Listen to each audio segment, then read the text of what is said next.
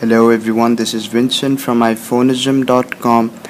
This tutorial will show you how to downgrade iOS 434 to any previous iOS firmware of your choice. Step 1. Download the IPSW of the firmware that you want to downgrade to. For this video, I shall be downgrading my 4th generation iPod Touch to iOS 431 from iOS 434. Already downloaded iOS 431 IPSW for the 4th generation iPod Touch. Step 2. Download the latest Tiny Umbrella for both Windows and Mac. Direct download links have been included in the description below. Step 4. Entering DFU mode. You need to enter your device into DFU mode so that you can downgrade to older iOS firmware. To do that, simply connect your device to iTunes power it off. Once it has completely powered off press and hold both the home and power button for up to 10 seconds. After 10 seconds leave the power button but keep holding the home button until iTunes recognizes your device into the DFU mode.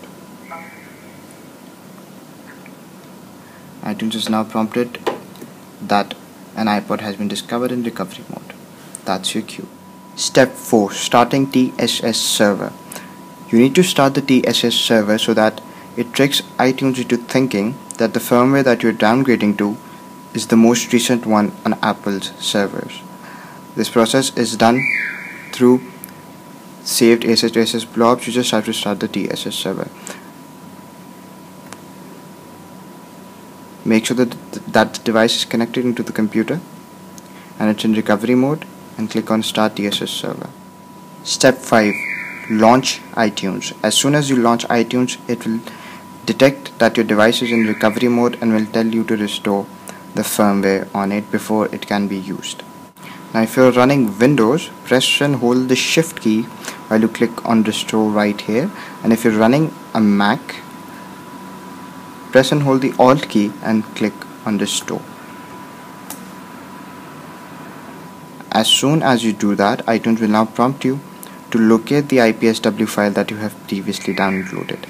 Here is our 431 IPSW. Click on that click on open. iTunes is now beginning to restore to to rather downgrade my device that was previously running iOS 434 back to iOS 431. There you go, iTunes has shown the confirmation that the iPod has now been restored to iOS 4.3.1 and there you have it fourth generation iPod touch downgraded from iOS 4.3.4 back to iOS 4.3.1 the days of which are long gone now. I hope that you liked this video. If you did if you did please rate comment and don't forget subscribing to our channel for more iOS related videos. The written guide has been included in the description below that all relevant download links are also given in the description.